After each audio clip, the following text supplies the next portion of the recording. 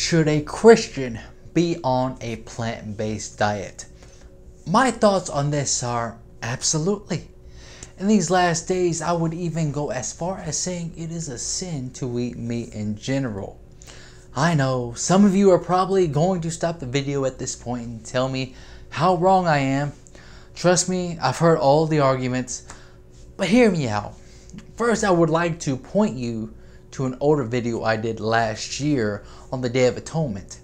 I'd like you to watch that video for further information of this. So let's get to it. Here are the top five arguments. I'm going to answer these five points and then follow up with scriptures. They are pretty lame excuses as to why some people eat a rotting dead corpse. It is actually pretty disgusting in my opinion, but I digress. So first of all, I gotta have my protein. I need meat to get my protein. Really? That's a bold-faced lie, brothers and sisters. Protein comes from plants alone. I don't get secondhand protein from animals. I get it straight from the source. Look at buffaloes, elephants, or rhinos, for example. 100% plant-based diets. They are some of the biggest, strongest animals in the world. Not only this, but for another example, a can of beans has far more protein than a cheeseburger. And not just that, but has more fiber, less calories, no cholesterol, and of course, it is more filling. And not only that, but almost every disease and illness known to man can be traced back to eating flesh. However, virtually all diseases, including cancer and diabetes, can be reversed on a plant based diet. Second point is Jesus ate fish. If it's good enough for Jesus, it's good enough for me. First off, Jesus ate a piece of fish for one reason, and that was to prove that he has truly risen from the dead and is not some apparition.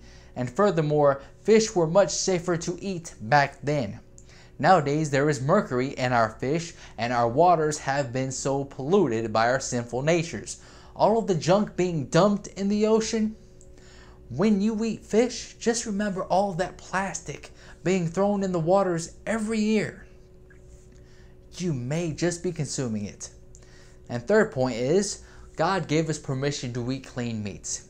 Yes, He did. For two reasons. After the flood, there was no vegetation on planet Earth, and two, to shorten the sinful lifestyle of mankind.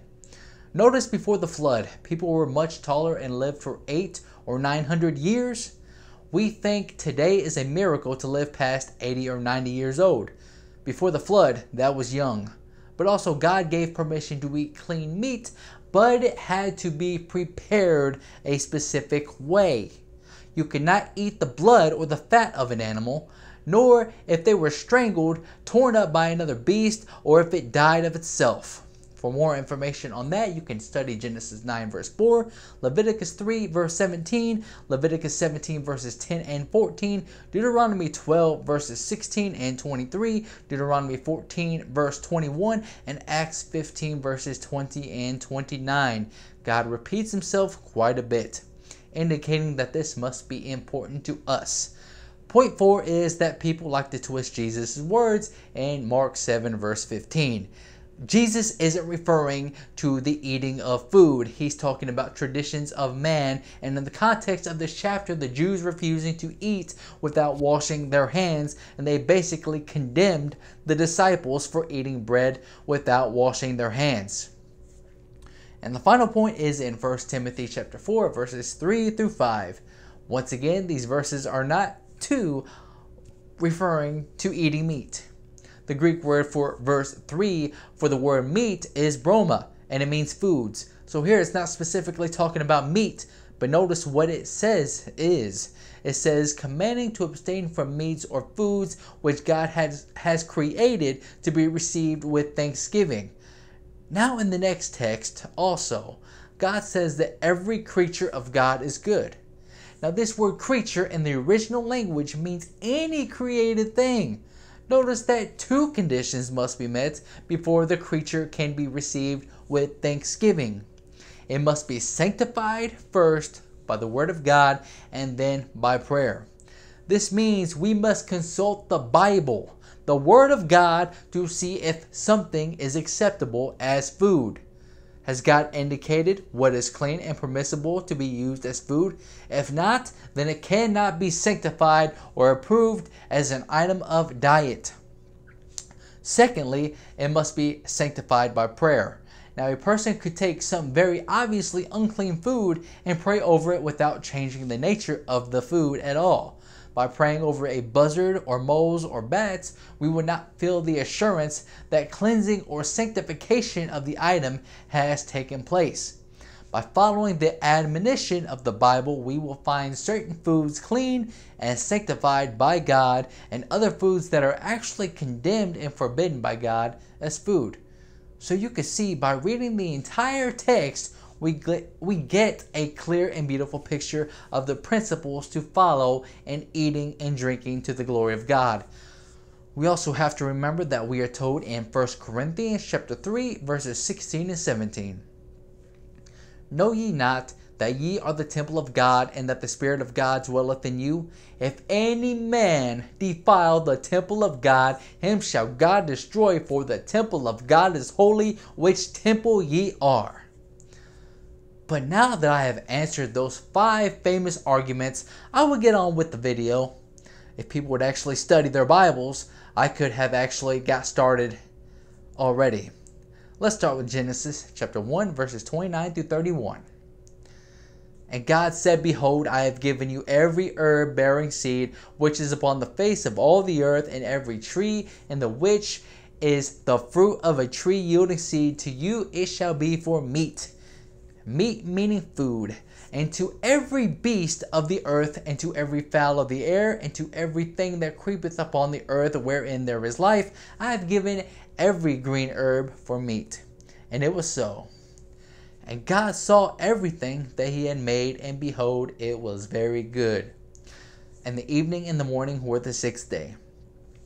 We are told clearly that God gave to mankind and animals alike anything that grows from the ground as food. It's self explanatory, right? Before sin, there was no eating meat, period. A child can understand that. Let's jump forward to well after the flood when eating meat was permissible. Numbers chapter 11, verse 4 says, and the mixed multitude that was among them felt a lusting. And the children of Israel also wept again and said, Who shall give us flesh to eat? During this time, God was leading his people to the promised land of Canaan. God gave them manna to eat, yet they didn't want it. They were crying for the flesh pots of Egypt. Let's continue on to see what happens. Verses 18 through 20. And say thou unto the people, Sanctify yourselves against to tomorrow. And ye shall eat flesh, for ye have wept in the ears of the Lord, saying, Who shall give us flesh to eat? For it was well with us in Egypt. Therefore the Lord will give you flesh, and ye shall eat. Ye shall not eat one day, nor two days, nor five days, neither ten days, nor twenty days, but even a whole month, until it come out of your nostrils and it be loathsome unto you. Because that ye have despised the Lord which is among you, and have wept before him, saying, Why came we forth out of Egypt? And then verses 31 through 34. And there went forth a wind from the Lord, and brought quails from the sea, and let them fall by the camp, as it were a day's journey on this side, and as it were a day's journey on the other side, round about the camp, and as it were two cubits high upon the face of the earth. And the people stood up all that day and all that night and all the next day, and they gathered, they gathered the quails. He that gathered least gathered ten homers, and they spread them all abroad for themselves round about the camp. And while the flesh was yet between their teeth, ere it was chewed, the wrath of the Lord was kindled against the people, and the Lord smote the people with a very great plague. And he called the name of that place Hattaavah, because there they buried the people that lusted. God's people on their way to the promised land were given manna to eat instead of the diet of Egypt. They lusted for the diet of Egypt, so much so that in the end they ate themselves to death and were buried there. God and Moses were mad at their rebellion. Their example were to be an example unto us in these last days. We have been delivered from the bondage of sin, and we are on our way to the promised land. God wants to get us away from the diet of the world and put us on the heavenly diet of heaven, the original diet from Eden. The book of Daniel tells us in chapter 1, verse 8 But Daniel purposed in his heart that he would not defile himself with the portion of the king's meat, nor with the wine which he drank. Therefore he requested of the prince of the eunuchs that he might not defile himself. You see, some try to say that the king's meat was unclean meat or sacrificed to idols, but there is no evidence of that anywhere. However, if you jump down to verse 12 and 13, Daniel sets up a challenge. Prove thy servants, I beseech thee, ten days, and let them give us pulse to eat and water to drink. Then let our countenances be looked upon before thee, and the countenance of the children that eat of the portion of the king's meat, and as thou seest, deal with thy servants. Daniel only wanted vegetables and water. Nothing else. No steak, no hamburgers, no fried chicken, just pulse and water. Watch what happens. Verse 15 says, And at the end of the ten days their countenances appeared fairer, and fatter in flesh than all the children which did eat the portion of the king's meat. Now verses 19 to 21. And the king communed with them, and among them all was found none like Daniel, Hananiah, Mishael, and Azariah. Therefore stood they before the king, and in all matters of wisdom and understanding that the king inquired of them, he found them ten times better than all the magicians and astrologers that were in all his realm. And Daniel continued even unto the first year of King Cyrus. Daniel and his buddies refused the meat, and they were found to be healthier and wiser than the rest of the children of Israel. Need not say more on this subject. I want to finish with one last verse. The book of Revelation, chapter 21, verse 4 says, And God shall wipe away all tears from their eyes, and there shall be no more death, neither sorrow nor crying, neither shall there be any more pain, for the former things are passed away. There will be no more pain or death. There won't be eating any more dead carcasses, brothers and sisters. The carnivorous animals won't even be eating flesh. You can read Isaiah 11 and 65 on that. So, my appeal to you today is this if there won't be any meat eating in heaven, then shouldn't you be preparing yourselves to live there now? Our lifestyles aren't going to just change, beloved, they need to change on this earth.